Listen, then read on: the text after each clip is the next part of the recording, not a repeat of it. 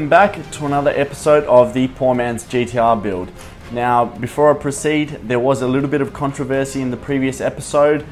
Uh, it's probably mainly people that didn't watch episode 1. In episode 1, I said that this is a 1998 GTT R34 Skyline.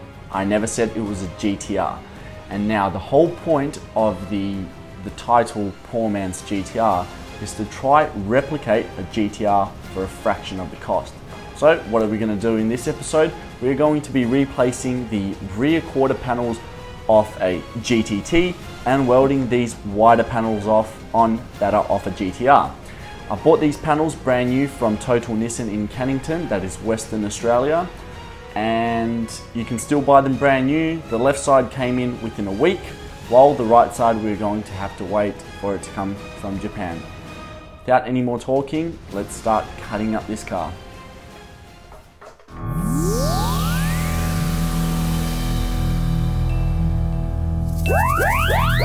Bye.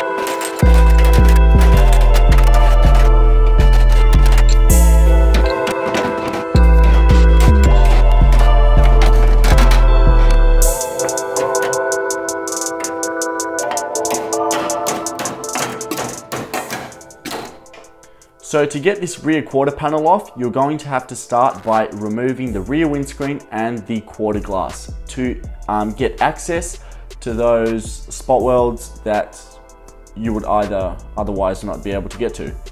Then you're going to have to use a drill bit that is specifically made for removing spot welds and you pretty much go around the lip, the windows, the door jamb, anywhere you see spot welds that you think will connect this new panel to the car, you're going to have to drill that off and also use a wire wheel to remove any seam sealer that is also bonding those two panels together.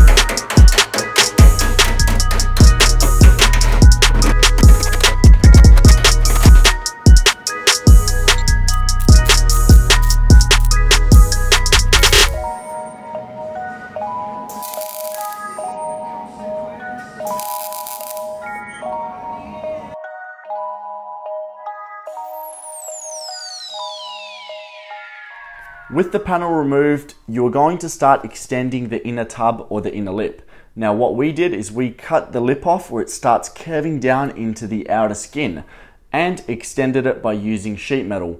While another option you can do is go watch Rad Rado's video because he's done this exact conversion, but his car is now painted and this isn't. Um, he bought a brand new tub and that's how he extended his wheel arch. While I, I went the I don't know if it's cheaper or easier, but if I was just more confident in doing it this way by cutting that old lip off where it curves down into the outer skin and extending it using just sheet metal. In my case, I just use sheet metal from the old quarter panel as it is the same thickness.